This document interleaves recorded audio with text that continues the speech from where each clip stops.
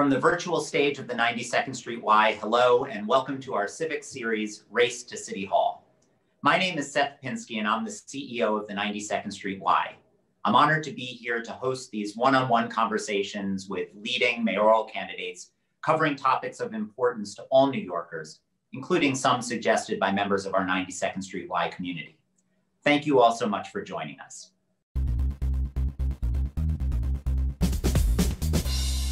As we all know, the last year has been an amazingly difficult one for the city that we call home. To overcome our challenges, it's going to take a decisive, collaborative, and creative chief executive. Who our next mayor is, therefore, will chart the course for our city, not just as we struggle to emerge from our current crises, but for many, many years to come. It's for this reason that we at the 92nd Street Y have launched this series. Today, I'm speaking with mayoral candidate Eric Adams, the borough president of Brooklyn. Borough President Adams formally announced his run for mayor in November. For the last eight years, he's served in his current role, and before that, he served in the state senate in Albany after completing a 22 year career in the NYPD. Borough President, thank you so much for joining me here today. Thank you, and to uh, all of the of folks out there from the 92nd Street Y. Uh, you know, hello, and I'm excited to be here and engage in this conversation that we are going to have. Well, that's great. Um, and before diving into some weightier topics, I wanted to ask you uh, one quick question. Um, I heard uh, when the pandemic first hit that you actually dragged a mattress into your office at Borough Hall and slept at Borough Hall to keep your finger on the pulse of what was going on in the borough. I just am curious, since those dark early days, how are you doing? How's your family doing? I hope everyone is okay. Uh, yes, and also that same question to you, you and your family. And yes, because you know, Seth, I, I, learned from my days in law enforcement that uh, leadership is not only substantive, it's symbolic.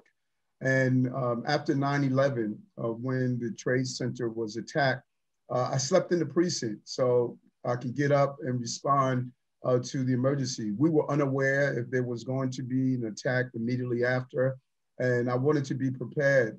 And that's how I felt when COVID hit our city and we decided to shut down. I created a command center at Borough Hall. I was able to respond immediately. A lot of people fled. Uh, I knew I had to play the role to lead.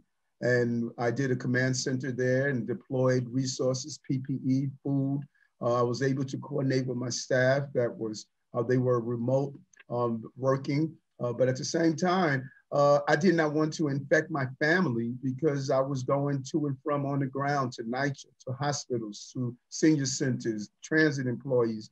And so I felt that if I just stay in that same mode that I stayed in as a police officer, a lieutenant during 9 11, uh, I can function better. And at the same time, I wouldn't put my family in harm's way. And, I, and it was the smart move, it was the right move. It allowed me to keep my finger on the pulse. Well, I'm, I'm glad to hear that, that you and your family are doing better. And I'm glad to hear that at least we've gotten to the point where you don't need to spend 24 hours a day, seven days a week in your office. Yes. Um, it, you mentioned your experience as a police officer, and that, that provides a nice segue into the first topic that I wanted to cover. Um, and um, leading up to this conversation, we went out to our community and asked them uh, what questions they would want me to ask of you. And um, what was interesting was that one of the key topics that many seem to be focused on right now is, is policing. Um, but what was even more interesting was that the questions that we received generally fell into two very different camps. Um, the first camp went something like this. Um, murder was up 40% last year shootings doubled last year. The city is out of control. Um, we need to fund and empower the police department as quickly as possible, and we need to staunch this tide immediately. So that was one camp. And then the second camp was yes, crime is rising and, and that's concerning, but the answer isn't more policing. The NYPD has a history of racial bias. Um, it doesn't solve the underlying problems. Um, when it comes to the NYPD, our priority should be reform. And when it comes to crime, the priority should be taking some of the money away from the police department and putting into our social service agencies. So among the, the candidates for mayor, you're in a unique position when it comes to this topic. Um, as you mentioned, you were for many, many years an NYPD officer. Um, and you're also a Black man who talks about having been victimized uh, when you were younger in South Jamaica um, by police officers. So I guess I'm curious to get your perspective on this. Um, is this an either or proposition, um, or can we do both? Can we fight crime and reform the police department? And if so, how? Great question. And I, I, I am not a poster, but I bet you if you would uh, divide, uh, divide the responses, uh, a more younger group would have stated uh, the parts that we need to defund the police uh, because of their over aggressive behavior, and an older group would probably be more conservative about dealing with the issue of crime. Uh, because it depends on your experience here in the city. It would really weigh your position around law enforcement. Uh, let's be clear, uh, we couldn't always walk through Central Park and Prospect Park. Williamsburg wasn't always a place where hipsters hung out. Uh, there was a different city uh, during the early, the mid 80s when I policed in this city. We were having 2,000 homicides a year, uh, almost 98,000 robberies, an equivalent amount of felonious assaults. Graffiti was everywhere. And when you look at uh, many New Yorkers who live through that, uh, when they see open defecation, open urination, people openly using drugs on their street corners, uh, shootings, one-year-old children being shot and killed, uh, they are thinking we can't go backwards. And I'm I'm clear on this. My son is not growing up in the city that I grew up in, where crime was the norm. But at the same time, I have a different perspective and a very unique perspective from everyone that was that, that is running for mayor. I was arrested at 15. I was beat uh, bad by police officers, and uh, I, I, was traumatized. And I lived through the PTSD of that experience uh, for many years until civil rights activists uh, encouraged me to go into law enforcement and really uh, reform from within. And what I learned from the 22 years of being a police officer and retiring as a captain is that we can have justice and public safety at the same time. They go together. Public safety is the prerequisite to prosperity. We will not exist in the city if we are not safe. And what we must do is redefine the ecosystem of public safety in the city. And that's those are the experiences uh, that I'm going to bring uh, to our police department. I will have the back of my police, but my police will have the back of the New Yorkers they serve uh, they're sworn to serve and protect. And so I understand those who say the police have gone too far. And I also understand those who are saying our city has gone too far backwards um, when you look at the crimes and the, particularly the increase in murders in the city. And, and Borough President, I guess just to, to get a little more specific, how exactly do you do that? How do you make the police department feel as if the mayor is supporting them and um, to use your phrase, has their back, but at the same time, um, institute more discipline to make sure that when police officers go astray, um, that um, there are serious consequences. Uh, because I have been in the agency and much of my career was as a supervisor, uh, there are parts of the agency that many people don't know. Uh, one of the most well kept secrets uh, is that everyday officers dislike abusive officers. I cannot tell you the number of times uh, that a police officer came to me as a sergeant, a lieutenant, or captain and said, uh, Sir, I don't want to go out with this officer. Uh, I just don't feel comfortable going on patrol with him. What has happened historically is that police agencies in New York and across America, they have become safe havens for abusive officers. There are no real systems in place to immediately identify who they are and have them removed from the department, retrained, or proper discipline. Like we just had an inspector that was just fired uh, yesterday uh, because he was posting uh, racist, uh, uh, uh, anti-black, and anti-other groups on a website.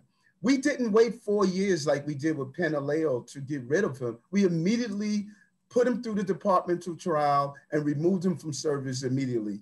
That is what you must do. We have held on to bad acting police officers for too long, and it has created a culture within the police department that no one is removing these bad guys. No one believes in the internal investigatory systems that are in place. If we don't change the culture from within and have officers uh, that want to do the job of being of, of protecting our city, if we don't create that environment, then we're not going to ever change the culture.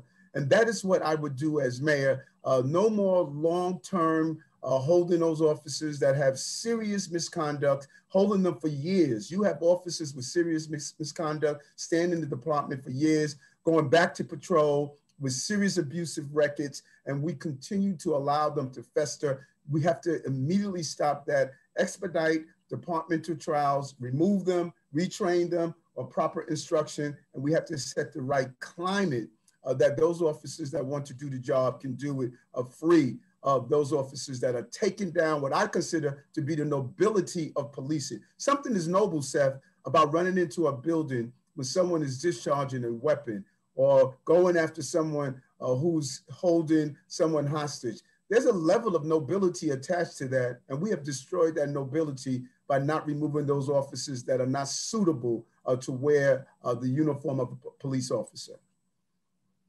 Um, thank you for that answer. Um, I, want to pick up on something that you um, brought up in uh, your response, which was that you talked about how public safety is, um, I forget the exact phrasing, but at the foundation of our prosperity. And um, another very serious challenge that we in New York face is um, that our very prosperity is at risk.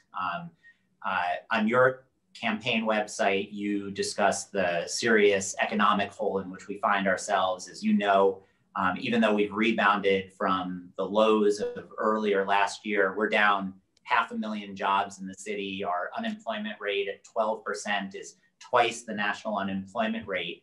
Um, and as you and, and, and many of your competitors in the mayoral race point out, we desperately need to restart the city's economic engine. We have to create new jobs for all New Yorkers, but we especially have to focus on industries like hospitality that, that have been decimated, on communities like our communities of color that have been decimated. So I guess the, the next question that I have for you is um, if tomorrow you were elected mayor and uh, you were sworn in the day after, what would be the, the first three very specific steps that you would take to try to jumpstart the economy? Of, of specifically, I would immediately reinstitute the uh, anti-crime units in the police department. Uh, because in order to jumpstart our economy, uh, two things must take place. Public health, we, have, we must get COVID under control, and public safety. I will immediately reinstitute the anti-crime unit, turn them into an anti-gun unit, and we will uh, activate precision policing, go after the gun violence, and go after the gang members in the city. And we will stop the flow of guns in our city. We have an overproliferation of handguns in our city because every time there's a shooting, it not only devastates the families who are impacted, the community that's impacted, but it also impacts our tourism. When Channel 5 reports a shooting in New York City, it impacts tourism, a multi-billion dollar industry that if we don't get it back up and running, uh, we're going to have a major problem. And so I will immediately have my police department zero in on dealing with uh, gun violence and gun crime. A second thing I would do is to put in place clear standards for our office buildings to get them back up and running. Uh, there have been some ex excellent examples of places like Related, RXR, and others where they have created a safe space for their employees with clear standards, but the city and state, uh, they have yet to hand down to our companies and our business districts what are the clear standards that we expect? Because we can't have frivolous lawsuits uh, that would happen because people get COVID-19 because there are not clear standards on what buildings should do, how they should operate, uh, should operate. We must get the city back up and running. If I don't have uh, people in those office buildings, they're not going to go down to the cafes, the cafeterias. They're not going to get their shoes shine. They're not going to feed uh, the other part of this ecosystem where low skilled, low educated um, employees are. We have to get our, our employees back in, in the buildings. And I will immediately give those standards. I'll bring in all my business leaders and I would tell them it's time to open our city. It's time to get our city functioning again. I would move and sit down with the governor and say, I need for us to increase 50% capacity in our restaurants because I know what it is to be employed in a restaurant. It's not just for rich people. I was a dishwasher as a child. I am saying let's get our restaurants back open in a safe way and ensure ensure that it that that it is done uh, immediately and, and right away. And and third, which is extremely uh, important, um, even prior to COVID, we had 200,000 jobs that were available, and we did not have uh, people to fill those jobs. So we're not only looking at a you know an employment problem, we're looking at a skills problem. We have to match the availability of jobs and create a pipeline of skills uh, that can uh, uh, give young people and other people who are seeking jobs to fill the jobs that are available in this city. And I will immediately match with my with my business community the jobs that are available and those who are seeking jobs. We have to get the city back to work. And lastly, uh, Seth, uh, part of the stimulus that comes from the federal government can't do what the first two uh, versions of it did and focus on large corporations, many who didn't need it. Uh, I was zero in on our small businesses. 51% of our employees come from small businesses. Uh, we will energize them, give them the assistance they need around rent assistance, around having a more flexible use of the PPP that comes down so they can use it to get keep their doors open in a real way. And and when you think about small businesses, and one thing that um, I hear a lot is that um, one of the biggest challenges that small businesses face is the city itself. Um, the taxes are high, the penalties and um, uh, various uh, rules and regulations make it very difficult to operate. Um, when you've been out on the campaign trail talking to small business owners, are there things that you've heard that you've thought to yourself, this has to change and, and what are those? Very excited about that. And when you look at my 100 step forwards document and i encourage um, um, everyone from the 92nd street y to go to my website uh, eric adams 2021 and look at my 100 step forward document. You know if you sit in a room with one small business Seth, and uh, they tell you a problem they're having you can say okay maybe that's a unique case but when you start to go from borough to borough, neighborhood to neighborhood, small business to small business, and they're saying the same thing, you have to scratch your head. you know, something is wrong here. You remember you used to, used to uh, travel across the uh, George Washington Bridge or down uh, Highway uh, 87 and it'll say, welcome to the Empire State. Someone must have crossed out that line we, we destroy empires in our city. Businesses should not be afraid to go to city, to the city agencies to get the help they need. It, you should not need an expediter to navigate the Department of Building. You should not need some expert to help you fill out the documents. We need to create a central platform of data where what I call a a city card, as I talk about on my 100 Step Forward.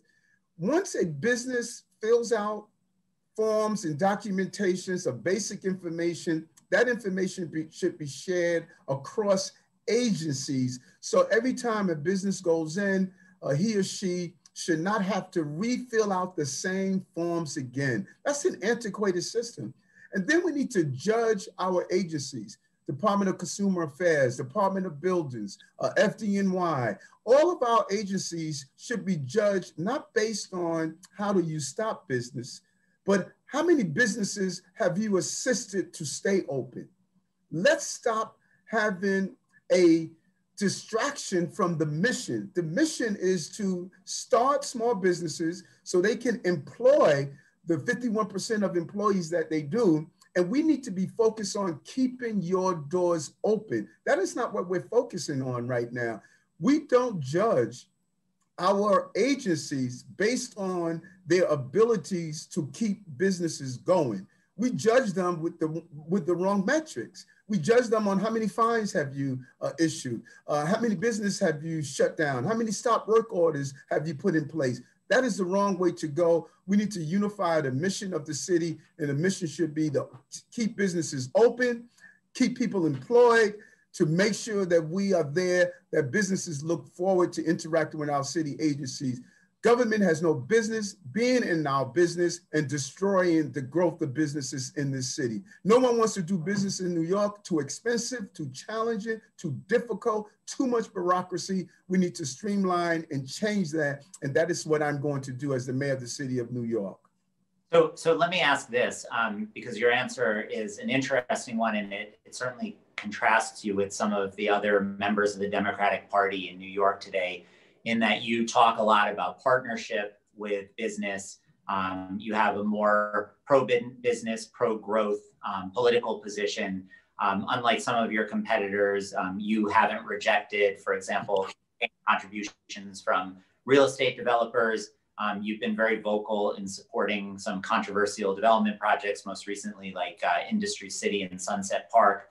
Um, and to a certain extent, everything that you're saying, at least to me, makes a lot of sense. You need to work with the private sector to generate jobs. But at the same time, um, what's also clear is that as the city has boomed over the last couple of decades, there have been thousands of longtime residents um, who were priced out of their homes, um, who were forced to move out of the city or elsewhere in the city. Um, and it's also clear that in many cases, the promises that were made to communities, whether it's by developers or government, about the benefits that would accrue to the incumbent residents if uh, growth were to occur, they never were delivered. And so um, my question to you is, um, you know, given the long history of broken promises or at least disappointments, what makes you so convinced that it's possible to develop and to grow our economy working in partnership um, with business without displacing longtime residents? And more specifically, can you give an example of either a period in New York's history or somewhere else in the country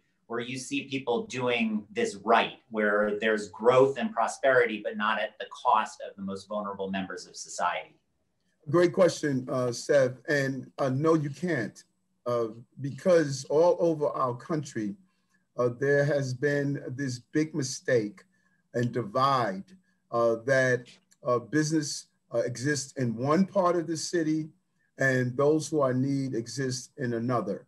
And I've, I've crisscrossed this country and examining, examined uh, how cities are interacting. And we we have just uh, made a mistake of not understanding there's some things that government uh, is capable of doing well.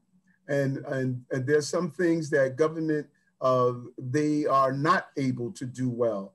And when you partner with businesses and the business community to come in and say, let's do this in a partnership, uh, you would get a better result. Uh, everything from our educational system, uh, why don't we have uh, prominent business leaders coming in and helping us with our curriculum?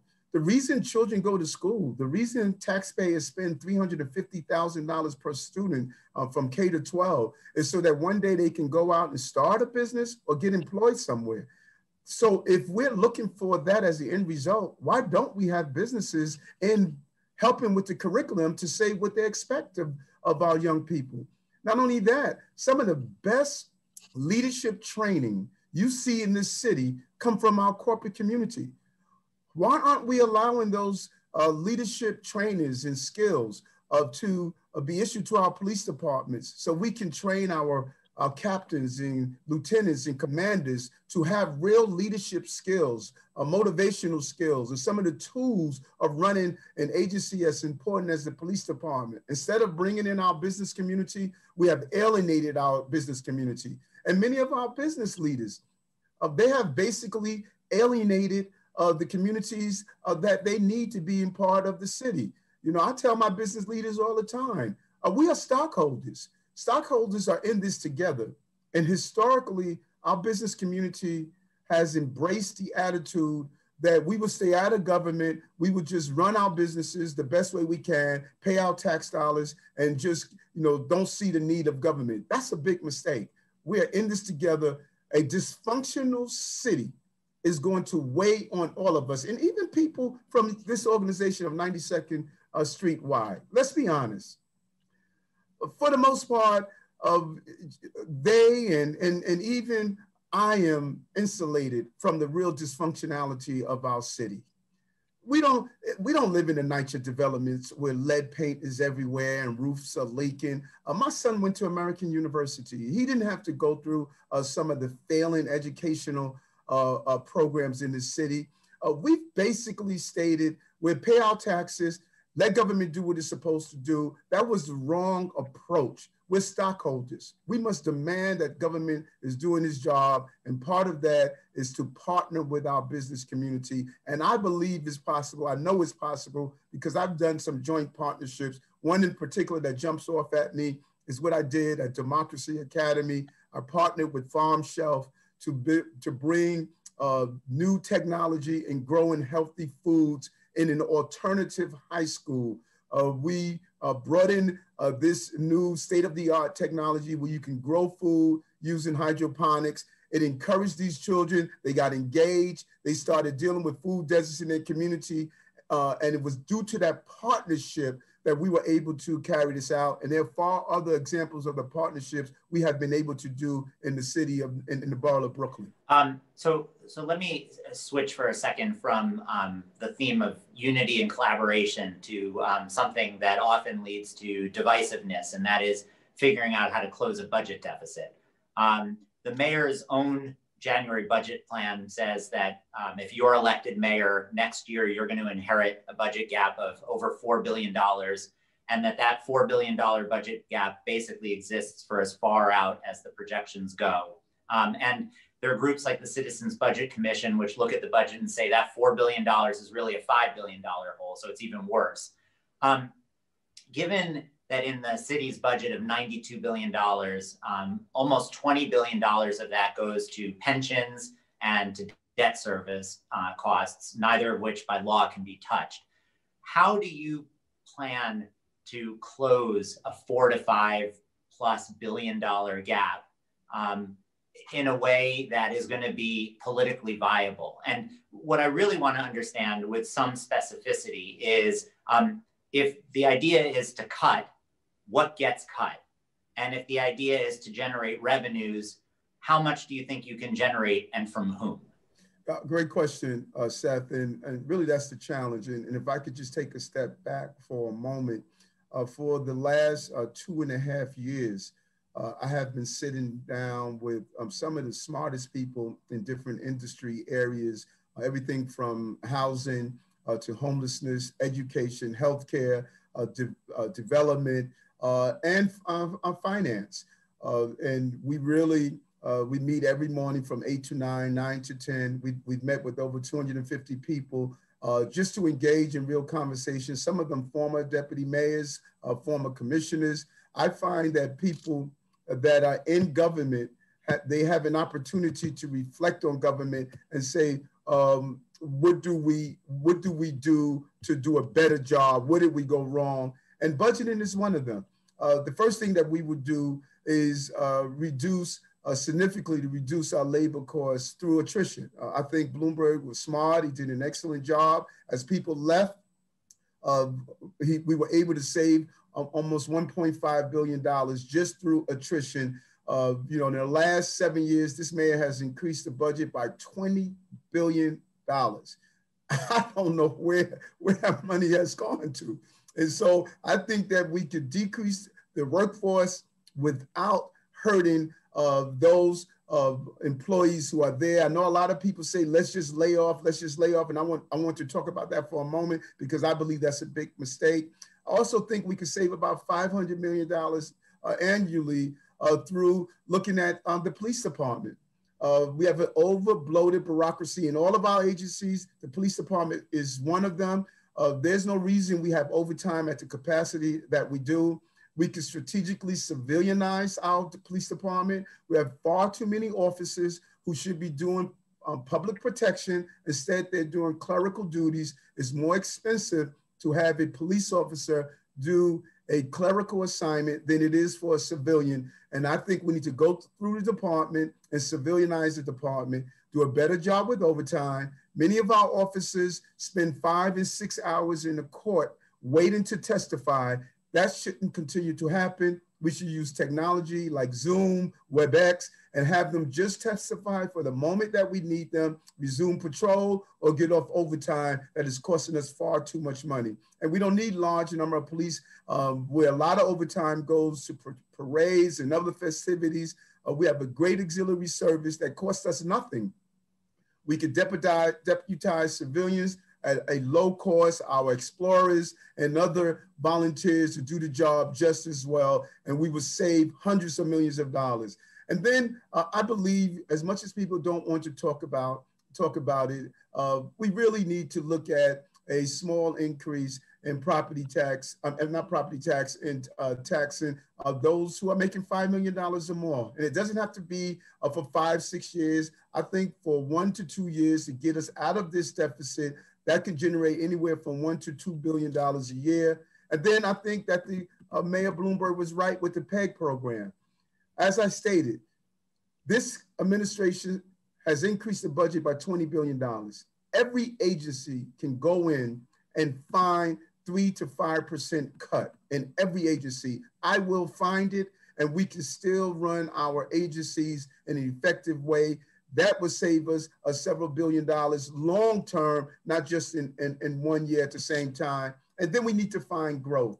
Uh, the city needs to grow. We need to do what Miami is doing, what New Jersey is doing, others are doing. Uh, we need to encourage businesses to come to the city. This should be the center for life science, the Center for Cybersecurity, the Center uh, for a New Agrarian uh, Economy, the partnership we're doing with NYU Business Center and Cornell University. Uh, this should be the center for innovation. Uh, remember, uh, new cities compete for people. You want people to come here for school, stay here for employment and raise families, and retire here. And so we must do everything possible to attract people here and you attract them here with job opportunities and opportunities for their family. We can close the budget if we run a more efficient city. And I say this over and over again, we are dysfunctional as a city. Cities are made up of agencies and our agencies in New York and across America we feed to crises that cause the hemorrhaging of taxpayers' dollars, and we can do a better job. Yeah, I, I just want to pick up on one thing that you said. You talked about a, a small increase on uh, in income taxes on, on people earning over five million dollars. Um, I mean, I grew up in a house where the greatest compliment you could give to a politician was that they were liberal. Um, and so there's something um, that seems right about the idea of taxing the wealthy if you have a large budget deficit. But I'm also very much aware of the fact that something like 40,000 taxpayers pay uh, around $5 billion a year in personal income tax. And um, a lot of them have learned during the pandemic that they don't need to be in New York.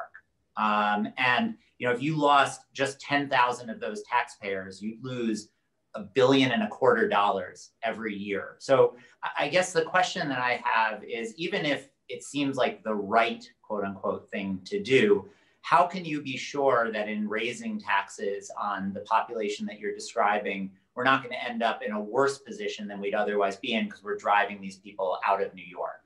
And I agree, Seth. Let me tell you, I hate the thought of raising taxes, and it should be the last result. Result, uh, resort. Uh, it's not lost on me that 65,000 uh, New Yorkers uh, 51% uh, of our income tax, and the only 2% of our income tax filers. Uh, I'm clear on that, and I know that.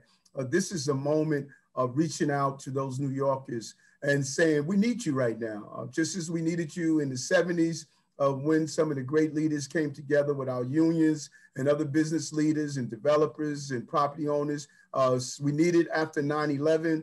Uh, clearly, we saw uh, the need to do a slight increase. I think Mayor Bloomberg was right when he did it. Uh, we needed it in 2008 um, after the financial crisis. And we're here again. And uh, I would be disingenuous to say uh, to those uh, affluent New Yorkers who are making $5 million or more that we're going to need you for a period of time. I don't believe in the mindset of demonizing affluent people who are successful in business, but I do uh, say that during this time, for uh, anywhere from two to three years, uh, we need an increase to help us get through this. But I say at the same time, when I speak with my affluent New Yorkers, they they don't say, Eric, we're not willing to do our share.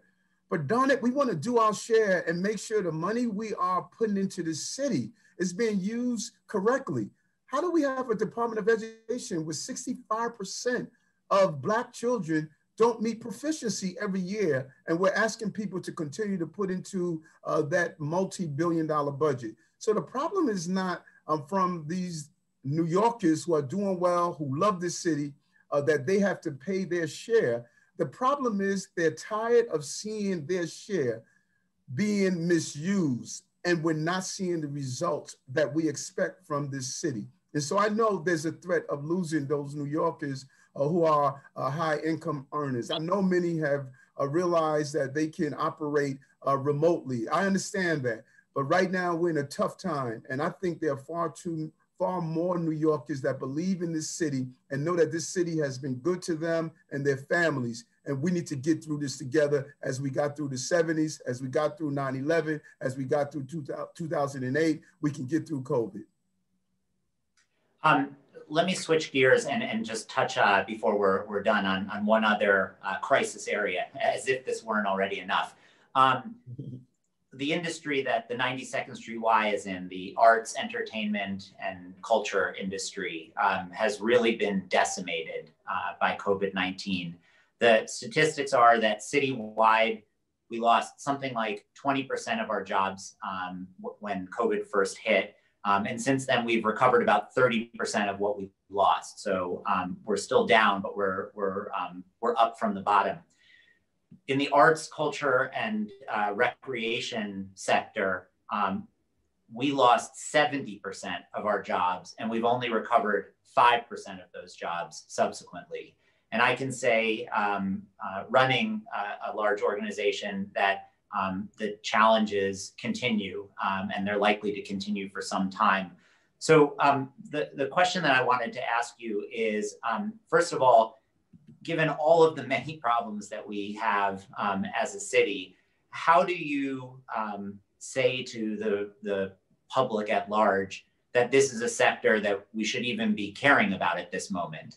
And assuming that you can answer that question, what specifically would you do to try to help get our sector back up on its feet? You know, uh, we've made a big mistake uh, historically when we talk about uh, arts and culture. Uh, just as we do when we talk about uh, parks and open space. The science is clear. When you examine the social determinants of health, when you examine uh, the crises we are about to experience cycling out of COVID-19, arts right now, the role that art, play, art plays is not a luxury. You can't even quantify uh, the importance that art is going to play on this city as we cycled out. Mental health crises are real. And that is why uh, during the Great Depression, uh, the federal government invested $27 million in art, music, and performances. Uh, that's equivalent to $400 million today we need to see the connectivity between the arts and culture and how it must play a role in our recovery, not just as it is a separate part of it. And I, at the heart of everything I say and do, Seth, is that one solution must solve a multitude of problems. And so if we put real stimulus into our arts and cultures, community, what we're going to do, number one, we're going to deal with the economics and employment that you're talking about. Number two, we're going to reinfuse uh, the tourism in the city. And number three, we're going to deal with the mental health aspect of it. The Center for the Study of Traumatic Stress uh, stated, and I, I, when I read through this, it was really interesting, uh, that uh, through art such as painting, drawing, performances. It allows patients to put painful memories uh, into context and find meaning uh, in it, which leads to faster recovery. So we must look at the arts as part of our recovery. One, the government uh, should make sure that we do it uh, in a fair way, in a just way. I think that we should infuse real financial resources as part of the recovery, that all of our students are participating in real uh, art experiences. We have too many young people who uh, never leave their block. We have children in Brownsville, African American, who have never left uh, their public housing uh, that they live in and where they're from. So we need to also look at the small art centers and, and locations. We many times focus on our big guys, our big museums, our Lincoln centers, and other entities, but we need to look towards the 92nd Street Y. We need to look towards the MoCADA uh, Museum, all of these small local entities and engage people, but it's going to take financial resources. I think that we need to go on this amazing uh, artistic experience over the next uh, year, throughout uh, 2021, where every school, uh, we need to build into the chancellor's rule, where every school visits, every cultural institution, uh, the Department of Education infuse dollars into uh, this entity uh, to pay to keep these spaces uh, open, subsidized. We need to have a massive, without 1.1 million students, we need to have a massive regeneration of art in this city coming out of the dark ages of COVID-19. And I think that the federal government should play a role with the dollars that come, come down from the stimulus, as well as the state, as well as the city. We should be subsidizing as many visits as possible, every arts and culture location throughout this city, from the local ones to the large ones. And then I need my big guys um, you know, the, the big major cultural institutions. I need for them to play a major role to dig into uh, our communities, go beyond the safety of the Fifth Avenue Mile. I need for them to go into every part of this, this city, South Jamaica, Queens, Brownsville, South Bronx, and really have a new energy of artistic energy as people overcome of the trauma that's associated with COVID-19. But, but let me let me just ask this follow up question. I mean, as the CEO of an organization that uh, each year educates provides arts education for fifteen thousand almost exclusively low income New Yorkers from across the five boroughs, New York City students. I'm sorry, from across the five boroughs in our public schools. Um, hearing what you're saying thrills me, um, and it's great to hear a mayoral candidate talk about the importance of arts education. But we've been seeing um, arts education cut over time um, for decades. And um, we're now in an environment where it's not clear that we're going to have the money that we need to buy school books. And our kids aren't even getting basic educations because half of them or more than half of them are remote. In that environment, where do you find the money to do the things that you're talking about, uh, even if there are they are both incredibly important and the right goals to have? First of all, we need to prioritize uh, what are the needs. And you and I know uh, you, you, you are uh, very familiar with the Depart Department of Education. It's an overbloated bureaucracy, layers and layers of people, layers and layers of duplication. Some of the worst procurement uh, rules uh, the waste and mismanagement in the Department of Education is, is something that needs to be examined. We have the money there. The problem is we have the lack of desire to go in and see that we don't need uh, to have uh, assistance to assistance, that assistance of the assistance. It's time to go into that agency and focus on education, as I always say, uh, from prenatal to career. And part of the focus of that is developing the full personhood of children. And you cannot develop the full personhood of children if you ignore the artistic points of that. We are not raising robots. We're raising young people who must become creative adults. And we need to refocus what we, we are doing and how we are allocating and spending dollars in the Department of Education. And that is what my chancellor is going to do. My mission will be clear. We're going to develop well-rounded children that will develop their full personhoods. And you can't do it without arts, without health, without recreation, and without the ability to be prepared for artificial intelligent job market that we are we are about to face. So uh, let me let me uh, uh, close because we're we're running uh, short on time with uh, just one additional question that was asked by um, members of our community, and I guess it's it's kind of the elephant in the room whenever you're talking to somebody who's running for mayor of the city, which is um, that while many New York City residents assume that the mayor controls everything, in a lot of ways, um, the real puppet master is uh, the governor and the state. And there's much that the mayor can't do without the support of the state. Um, the members of our community are wondering how do you feel that you're going to be able to navigate that very challenging dynamic? And um, what gives you confidence and what should give us confidence that the relationship that you're going to have with the state will be better than the relationship that currently exists between City Hall and uh, the governor's mansion? And, and, you're so right, Seth. And whoever gave you that question is correct. Uh, navigating Albany is a challenge. Uh, and we're going to do our best to use all of our relationships uh, in Albany uh, to fight for New York. Uh, but I'll tell you, like my mother said, uh, boy, you better have a plan B. And the real plan B is how are we going to utilize our agencies to do the job. And let me let me let me tell you uh, this for a moment. And this is something uh, that I really want New Yorkers to understand. Our city is dysfunctional, Seth.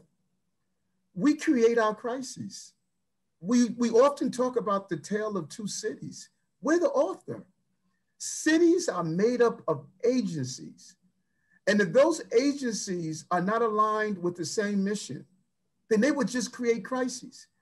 How do we have a Department of Health and Mental Hygiene, for example, spending millions of dollars to fight childhood obesity, childhood diabetes, childhood asthma? But every day, the Department of Education, they feed our children 960,000 meals a day.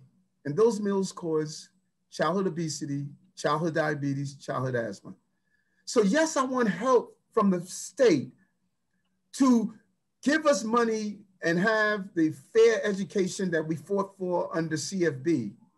But at the same time, I'm going to call on my agencies that are within my span of control that you're going to sit down with the other agencies in the city and you're going to ensure that we are not carrying out actions every day that feeds the crises of our city. How don't we have dyslexia training, uh, uh screening in all the schools in our city? 30% of the men and women at Rikers Island are potentially dyslexic. If we had early screening in our schools, we wouldn't have children believing they can't learn and then end up on, on Rikers Island. So since the Department of Education refused to do that, we are in conflict with our law enforcement issues in the city. And if you go from agency to agency, you will find that many of the conflicts we see in the city, in the crises, they're created by other agencies. So yes, I want the dollars from the federal government. I'm, a, I'm going to fight for the dollars uh, from the state government. But we need to do our job here in the city. Align our agencies, one mission, all moving together so that we can build this city and maximize what we have in this city. This is a great city. We have some of the best people, but we're dysfunctional because we no longer believe in the city and we no longer believe and expect from our agencies what they should be producing. We're the stockholders. We're doing our job of paying our taxes. Now it's time for government to do its job and using those taxes to run the city and just not spend those tax dollars in a wasteful way. And so I believe that New York can do this. The people in New York City, we can do a better job. We did it before. We turned around a dysfunctional policing apparatus where violence was considered to be the norm. We made our city safe. We can do it in a DOE, the Department of Building, FDNY, HRA. We can do the same thing in every city agency. And I believe that, and we can stop being a dysfunctional city and start functioning as a city that helps people who are in need. President Adams, thank you so much. Um, there's so much more ground to cover, but um, unfortunately, we're out of, out of time. Um, I want to thank you for giving us a glimpse into your plans for the city um, and to our 92nd Street Y patrons. I want to say thank you so much for supporting and tuning into the Race for City Hall series. Uh, please check back on our website for the most up-to-date schedule on future conversations. And in the meantime, from the virtual stage of the 92nd Street Y, we're signing off and thank you for listening. Thank you, Borough President. Thank you.